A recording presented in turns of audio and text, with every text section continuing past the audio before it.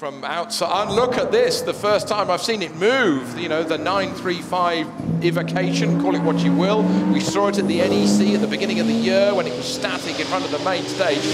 But that's that is a car. What is it? 800 plus horsepower? Yep, absolutely. Yeah. That is a device. And they've now revealed the liveries in which you can buy them as well. So there are other iconic colour schemes, not just not just the Martini colours, but uh, yeah. Some people say absolutely fantastic. Others say no, the 935 was the 935. But full marks to Porsche for doing this.